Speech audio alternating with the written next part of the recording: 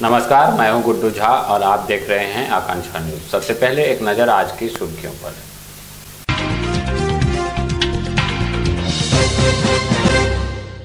मोहनपुर के भगवानपुर में आयोजित रैली में भाजपा पर गर्जे हेमंत सोरेन। कहा, भाजपा कर रही है पैसे का खेल।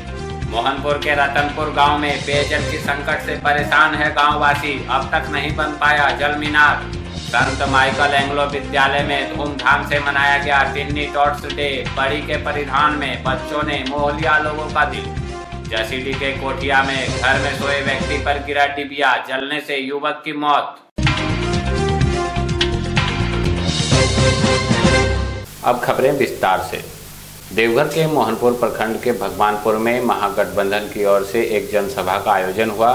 गोड्डा लोकसभा प्रत्याशी प्रदीप यादव के समर्थन में जेएमएम, जेबीएम, आरजेडी और कांग्रेस के दिग्गज नेता इसमें शामिल हुए। कार्यक्रम में पूर्व मुख्यमंत्री हेमंत सोरेन पूर्व मुख्यमंत्री बाबूलाल मरांडी पूर्व मंत्री सुरेश पासवान पूर्व मंत्री हाजी हुसैन अंसारी और पूर्व मंत्री हरिनारायण राय मौजूद रहे।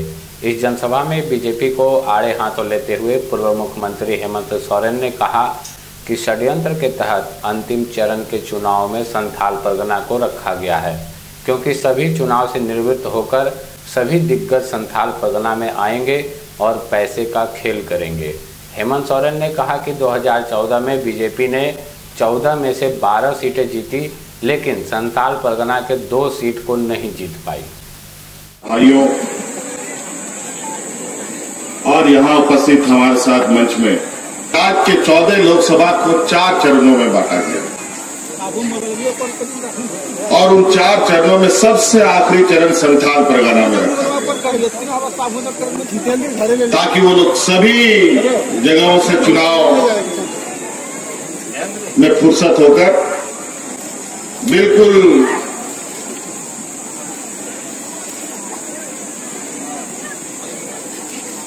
सियार लोमड़ी के तरह गिद्ध की तरह संथाल परगना में खा करके यहाँ के मतदाताओं का, यहाँ के लोगों को दिग्भ्रमित करने का काम करो। क्योंकि पिछले दो 2014 के लोकसभा चुनाव में 14 लोकसभा सीटों में इन लोगों ने 12 लोकसभा सीटें जीती। और संथाल परगना का दो सीट ये जीत नहीं पाए। और इसी को सोचकर इन लोगों ने पूरे पाँच साल संथाल परगना में बहुत ज़बरदस्त फोकस किया। कई बार इस क्षेत्र में प्रधानमंत्री केंद्र मंत्री और मुख्यमंत्री तो रोज़ाना इस क्षेत्र में आकर के अपना जहर छोड़ छोड़ करके चले गए। संथाल परगना में प्रधानमंत्री, केंद्रीय मंत्री और मुख्यमंत्रियों ने आकर के कितने हज़ार हज़ार करोड़, इतना हज़ार करोड़ का शिलान्यास कर दिया कि अगर उतना हज़ार करोड़ रुपया अगर यदि संथाल परगना के लोगों को बांट दिया जाता तो सभी संथाल परगना का गाँव वासी आज करोड़पति हो गया। सभी को करोड़पति हो जाता इतना शिलान्यास कर दिया। और शिलान्यास तो हो तो गया, लेकिन शिलान्यास का नतीजा तो देखिए। क्या हो? कहा डेयरी फार्म बना? कहा गंगा जी में पुल बना? और यहाँ पर देवड़ी की कौन जगह है जहाँ एम्स बन रहा है? देवीपुर में एम्स बन रहा है। और ये ढिंडोरा पीट रहे हैं कि हम दे रहे हैं। इनको पता नहीं है एम्स का सारा प्रक्रिया हेमंत सोरेन ने अपने कलमों से किया। अभी तो वो ठेकेदारी का काम में लग गया। यूपीए की सरकार ने इसको ना सैंक्शन हुई है। और ये लुटेरे लोग अब लूट कर अब ठेकेदारी काम में लगा हुआ। क्या काम किया? कौन सा इन लोगों ने झारखंड के लिए या देश के लिए काम किया। ये देश के पैमाने में यह चुनाव है। लेकिन देश के अंदर राज्य अपने अपने तरीके से चीज़ों को देखती है। आज एक तरफ़ पूरे किसान, मजदूर, बेरोजगार लोगों का जमात है। और इन दोनों के बीच में आने वाला समय, इस चुनावी जंग में तेईस तारीख को परिणाम आएगा कि ये अमीर पूंजीपति लोगों का विजय होगा कि किसान और मजदूर और बेरोजगारों का विजय होगा। मोहनपुर प्रखंड के रतनपुर गाँव में पानी की घोर किल्लत देखी जा रही है। इस गाँव में करीब एक से डेढ़ सौ घर है, लेकिन पानी की पर्याप्त व्यवस्था नहीं है। यहाँ के लोगों के सामने पानी को लेकर काफ़ी परेशानियों से रूबरू होना पड़ता है। यहाँ के स्थानीय बताते हैं कि पानी का जुगाड़ करने के लिए काफ़ी दूर जाना पड़ता है। पूरे गाँव में एक कुआँ है जिसका लेयर भी काफ़ी नीचे चला गया है। इधर गाँव के उप मुखिया बताते हैं कि पानी की समस्या को लेकर ग्राम सभा में प्रस्ताव भी लाया गया जिसमें गाँव के भीतर जल मीनार बनाने की मांग की गई थी। लेकिन काफ़ी दिन बीतने के बाद भी इस पर कोई सकारात्मक पहल नहीं की गई है। पंचायत को आवंटन नहीं मिला है उसके लिए। किस चीज़ का डिमांड किए थे आप लोग? हम लोग तो ये पानी के लिए किए थे तो वहाँ तो बोला कि नहीं आदेश मिला है कि हर गाँव में जल मीनार लगेगा। लेकिन अभी तक हो गया दो से महीना ज़्यादा हो गया ग्राम सभा होने में विशेष ग्राम सभा अभी तक पंचायत में या गाँव में जल मीनार एक भी नहीं लगा। तो क्या बोला गया कि आचार संहिता के कारण? हाँ बोला आवंटन नहीं आया है। उसके बाद फिर चर्चा हुआ कि आचार संहिता लागू हो गया। तब तो, तो गर्मी पार हो जाएगा आदमी यहाँ का आदमी प्यासे मर जाएगा। कि इस हाँ। गाँव में पानी का क्या स्थिति है? बहुत खराब है। हम लोग पानी के बिना दूर जाना पड़ता है। तो क्या होना चाहिए बताइए? क्या व्यवस्था होना चाहिए और क्या होना चाहिए?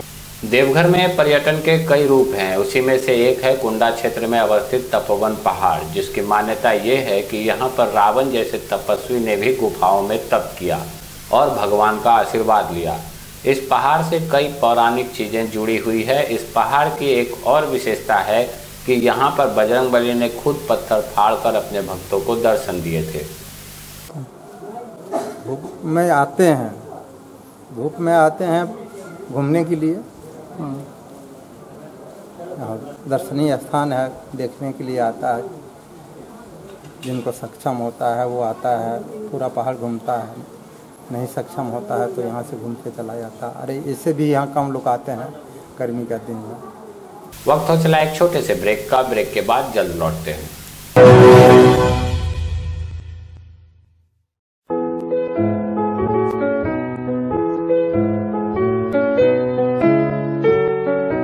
अगर आपको नॉन स्टिकी कुकर लेना है तो रामा इलेक्ट्रिकल्स में आइए। लुमिनस इन्वर्टर चाहिए या फिर बैटरी तो हमारे रामा इलेक्ट्रिकल्स में आइए। जूसर ग्राइंडर चाहिए या फिर घरों को सजाने के लिए सिस्का लाइट्स तो रामा इलेक्ट्रिकल्स में आइए। कई उत्पादों का समागम रामा इलेक्ट्रिकल्स महिला थाना के सामने, Deoghar, Jharkhand. Contact number seven nine zero three seven one 7903718368.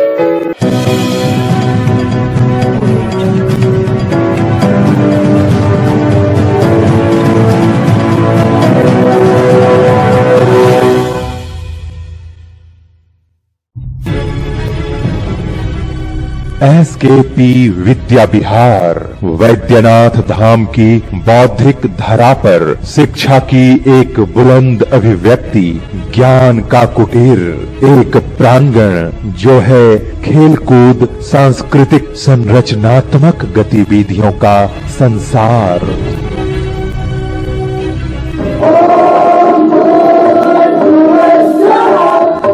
हम लोग दिन रात लगे हुए हैं। कि विद्यालय को कैसे उत्तरोत्तर विकास किया जाए, इसके लिए अच्छे अच्छे टीम और फैकल्टी हम लोग मंगा रहे हैं। प्लस टू की भी पढ़ाई हम उतने अच्छे ढंग से कराना चाहते हैं, जितने अच्छे की अभी तक मैं टेंथ का हमारा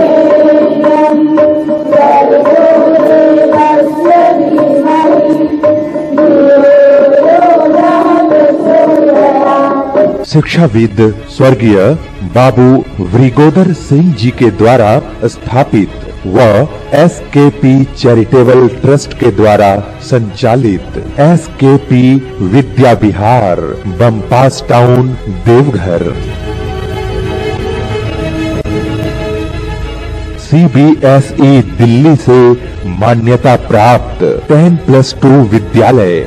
आज हमारे विद्यालय से पास आउट बच्चे तीन चार बच्चे आईआईटी में हैं तीन डॉक्टर हो चुके हैं बहुत बच्चे सीए चार्टर अकाउंटेंसी करके I just want to be an graduate business tycoon I want to become an IAS officer I want to become a doctor I just want to be a fashion designer I want to do hotel management and I want to be an IAS I want to be a banker I want to be a doctor I want to be an engineer my school is best in the city because it has good facilities and uh, the teachers are very good.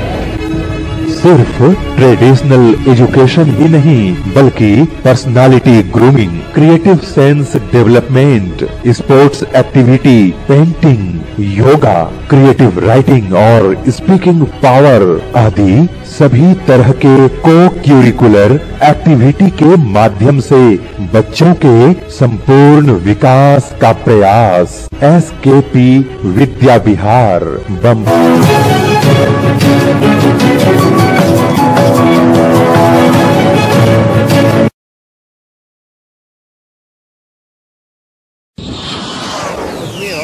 माहौल चुनाव को लेकर गर्म है। Vote BJP का घट रहा है और इस तरह इधर बढ़ रहा है गठबंधन का। माहौल यही देख रहे हैं जो मोदी जी सबको अभी घर घर व्यवस्था बढ़िया कर दिए हैं और प्रधानमंत्री तो मोदी जी को वोट मिलेंगे उसका कोई तो गरज नहीं रहता कि यहाँ पे जाए जिस जगह पे हम गए उस जगह पे फिर जाए। जो जीतने के बाद फिर घूम के यहाँ पे नहीं आता।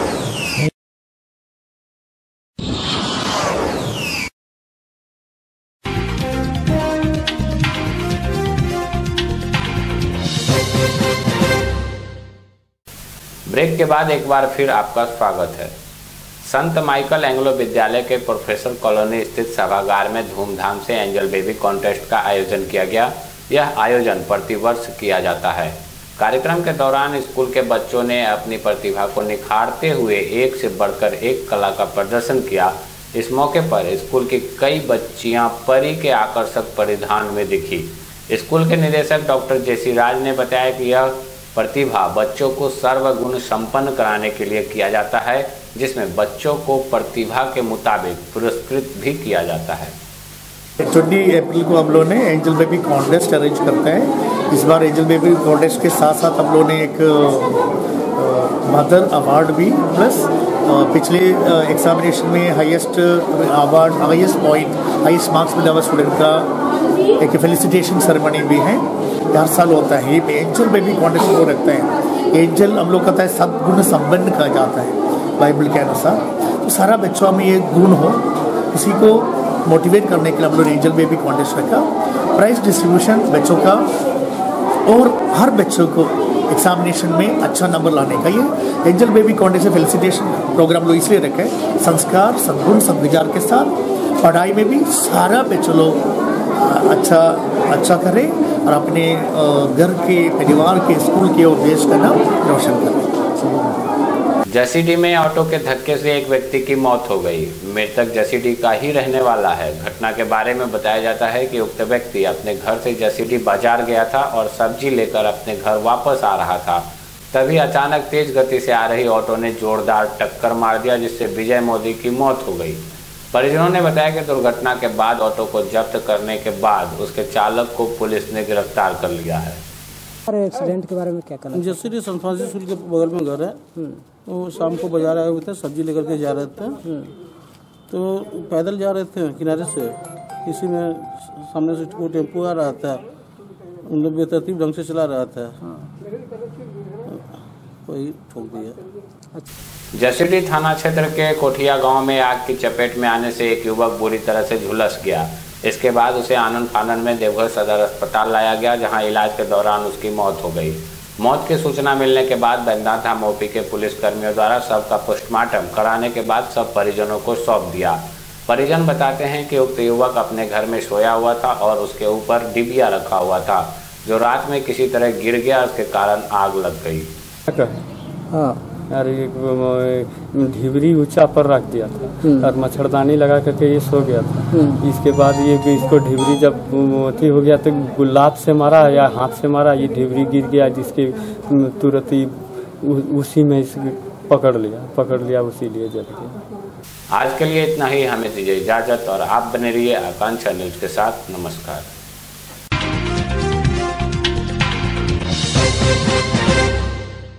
मोहनपुर के भगवानपुर में आयोजित रैली में भाजपा पर गर्जे हेमंत सोरेन, कहा, भाजपा कर रही है पैसे का खेल। मोहनपुर के रतनपुर गाँव में पेयजल की संकट से परेशान है गांववासी। अब तक नहीं बन पाया जल मीनार। संत माइकल एंग्लो विद्यालय में धूमधाम से मनाया गया टिन्नी टॉट्स डे, बड़ी के परिधान में बच्चों ने मोह लिया लोगों का दिल। जसीडी के कोठिया में घर में सोए व्यक्ति पर गिरा डिबिया, जलने से युवक की मौत।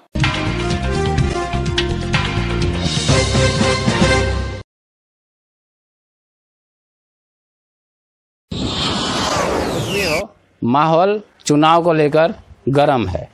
वोट बीजेपी का घट रहा है और इस तरह इधर बढ़ रहा है गठबंधन का। माहौल यही देख रहे हैं जो मोदी जी सबको अभी घर घर व्यवस्था बढ़िया कर दिए हैं और प्रधानमंत्री तो मोदी जी को वोट कोई मिलेगा उसका कोई तो गरज नहीं रहता कि यहाँ पे जाए जिस जगह पे हम गए उस जगह पे फिर जाए।